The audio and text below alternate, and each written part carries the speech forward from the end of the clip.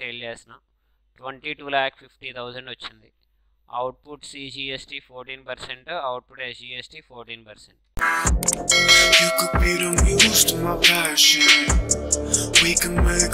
Hi viewers last వీడియోలో మనం GST ప్రాబ్లంకి సంబంధించి క్యాష్ ఓపెనింగ్ బ్యాలెన్సెస్ ఎంటర్ చేసాము.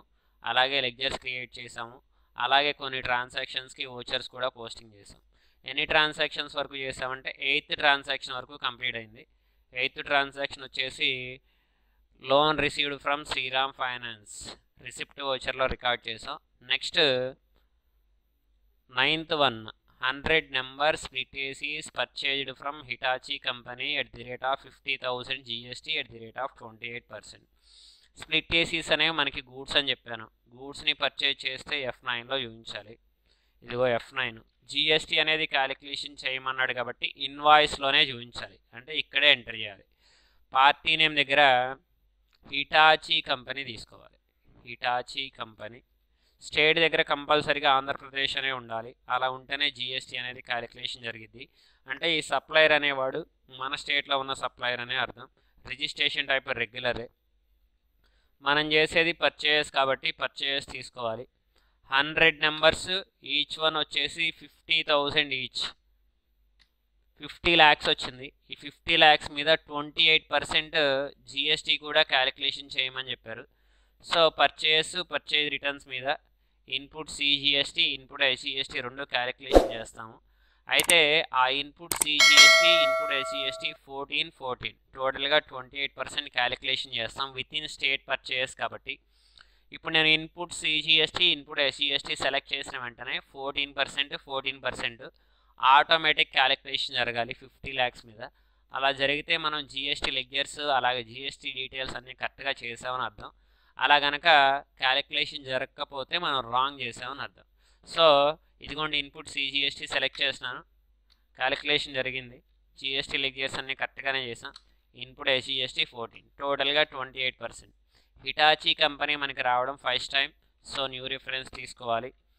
Being split ACs purchased and GST paid save చేసాడు next one tenth one fifty number split ACs purchased for cash at the rate of fifty thousand each GST twenty eight percent మళ్ళీ purchase ఇక్కడే చూపించాలి. ఇన్వాయిస్లోనే చూపించాలి.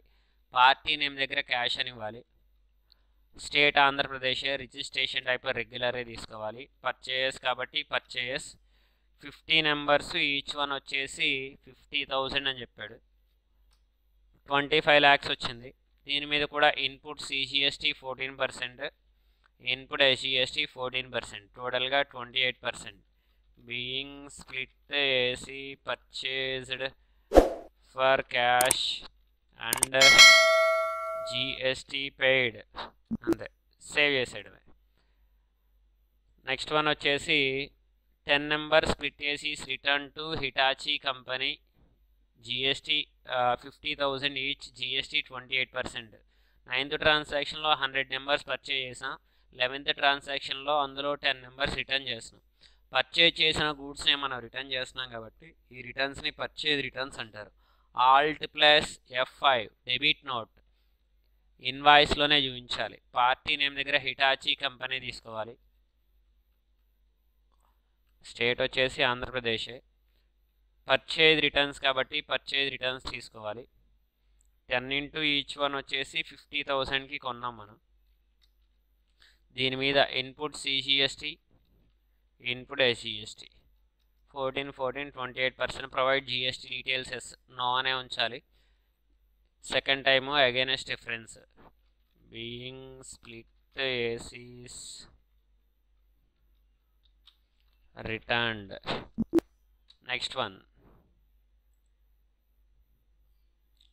Amount pay to Hitachi company by SBI cheque ten lakhs pay చేస్తే F పేమెంట్లో చూపించాలి. F Hitachi company. Ten lakhs amount pay చేస్తున్నామని చెప్పారు. Third time party name రావడం అగైనెస్ట్ రిఫరెన్సే తీసుకోవాలి. ఎస్బీఐ అన్నారు కాబట్టి ఎస్బీఐ తీసుకుంటే సరిపోతుంది being cheque paid. Next one వచ్చేసి expenses paid by cash. Salaries three lakhs travelling forty thousand telephone bills కూడా forty thousand. FI payment.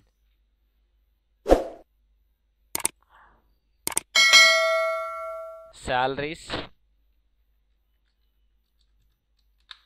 three lakhs travelling forty thousand అలాగే టెలిఫోన్ బిల్స్ ఫార్టీ థౌజండ్ మొత్తం cash being expenses paid by cash save చేసాడు next వచ్చేసి fifty number split చేసి sold to ECT GST at the rate of twenty eight percent sale చేస్తే F ఎయిట్లో చూపించాలి. F eight sales GST ఉంది కాబట్టి ఇన్వాయిస్లోనే చూపించాలి. ఈసీటీ వాళ్ళకి సేల్ చేస్తున్నాం. ఈసీటీ తీసుకోవాలి. స్టేట్ దగ్గర Andhra Pradesh registration type regular sales కాబట్టి సేల్స్ తీసుకోవాలి. ఫిఫ్టీ ఇంటూ ఈచ్ వన్ వచ్చేసి సెవెంటీ ఫైవ్ థౌజండ్కి సేల్ చేస్తున్నాం అన్నారు thirty seven lakh fifty thousand వచ్చింది. సేల్స్ సేల్స్ రిటర్న్స్ మీద output CGST output SGST fourteen fourteen టోటల్గా twenty eight percent sale GST applicable. First time new reference తీసుకోవాలి. Being split ACs sold to party. GST applicable అని ఇవ్వాలి. Save చేసాడు next thirty number split sold to SBI bank cheque. At the rate of seventy five thousand GST at the rate of twenty eight percent మళ్ళీ సేల్సే. అయితే సేల్స్లోనే చూపించాలి. Bank name దగ్గర SBI bank తీసుకోవాలి.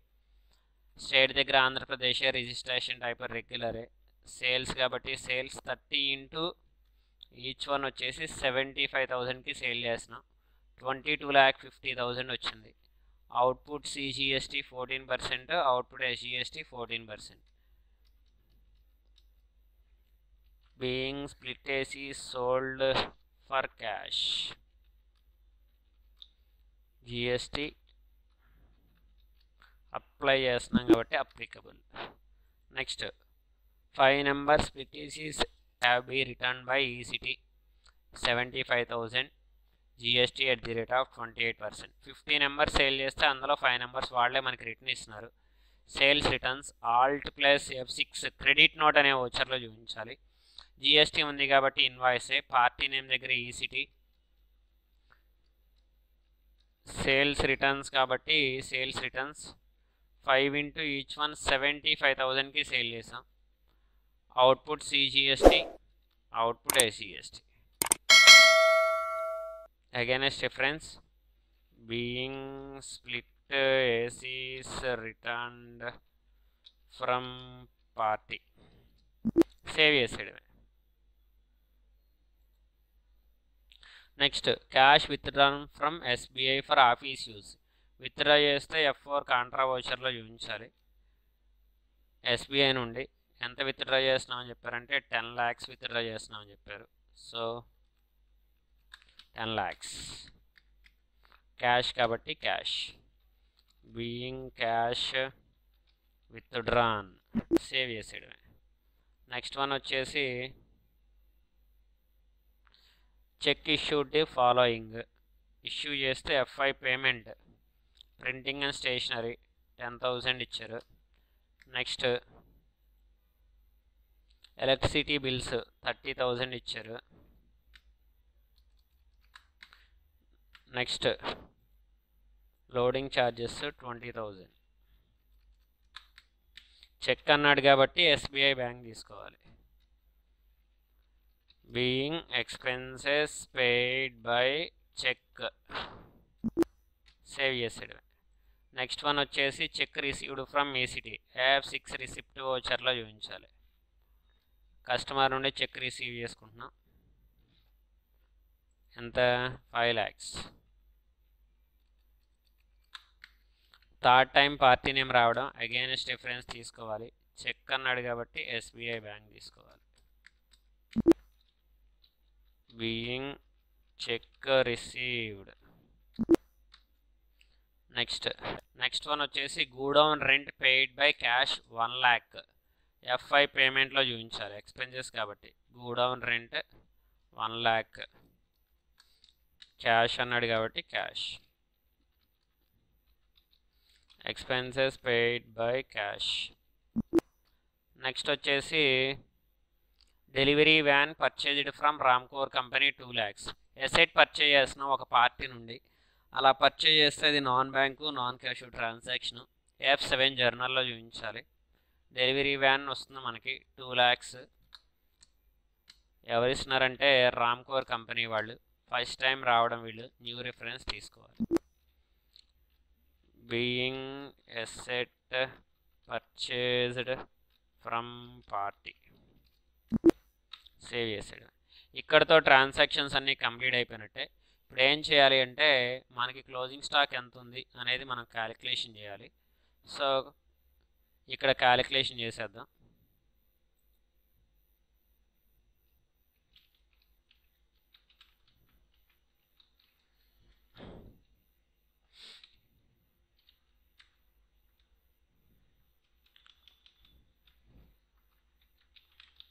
ఓపెనింగ్ స్టాక్ స్ప్లిట్ ఏసీస్ అనేవి మనకి ప్రాబ్లంలో ఓపెనింగ్ స్టాక్ ఎక్కడా లేవు. సో నిల్ అని రాస్తే సరిపోతుంది ఎక్కడ మనకి ఓపెనింగ్ స్టాక్ అనేది లేదు కాబట్టి nil.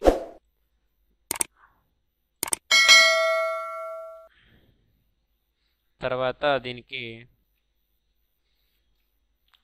Add.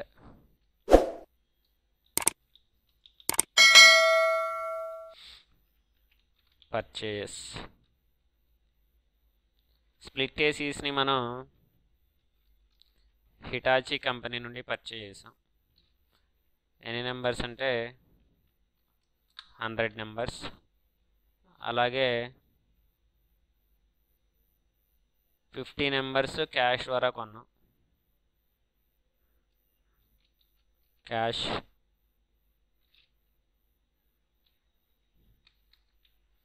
fifty.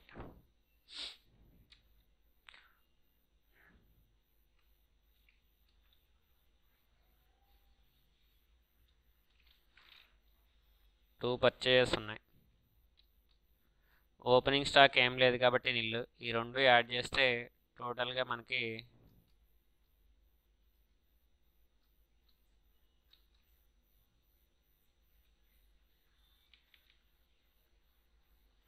One fifty వస్తాయి.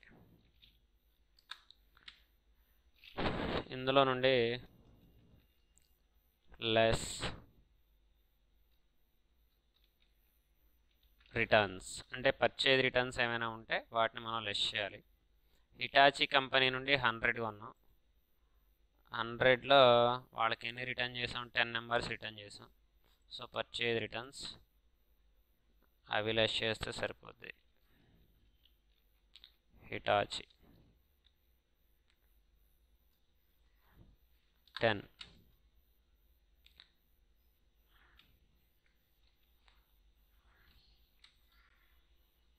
లెస్ చేస్తే వన్ ఫార్టీ ఉంటాయి మన దగ్గర.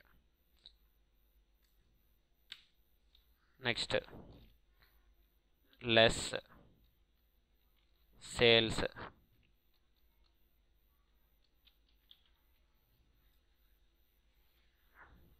సేల్స్ వచ్చేసి ఈసిటీ వాళ్ళకి సేల్ చేసాం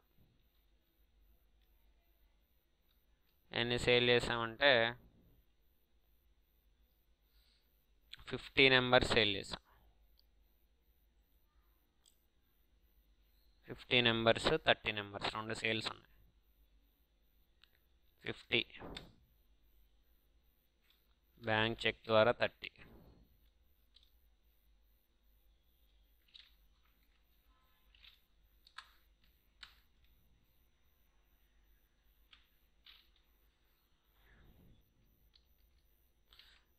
టోటల్గా ఎయిటీ వచ్చినాయి. వన్ ఫార్టీలో నుండి ఎయిటీ లెస్ చేయాలి. ఎయిటీ లెస్ చేస్తే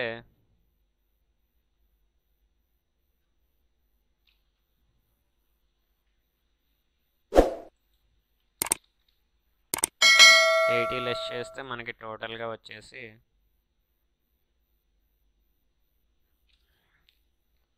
సిక్స్టీ ఉంటాయి.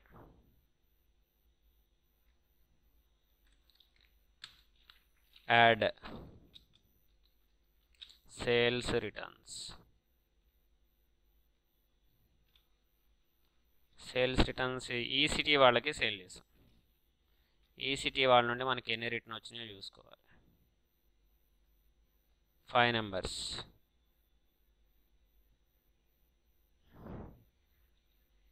ఫైవ్ యాడ్ చేయాలి.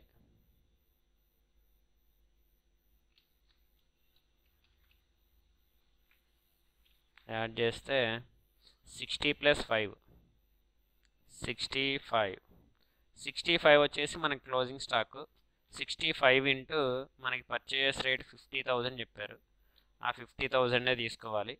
ఈ రెండు యాడ్ చేస్తే ఎంత వాల్యూ అయితే వస్తుందో అదే మనకు వచ్చే క్లోజింగ్ స్టాక్ అనమాట ఇప్పుడు మనం క్లోజింగ్ స్టాక్ అనేది ఎంటర్ చేయాలి. క్లోజింగ్ స్టాక్ని ఎలా ఎంటర్ చేస్తామంటే ఇక్కడ నుండి బ్యాక్ వచ్చేయాలి.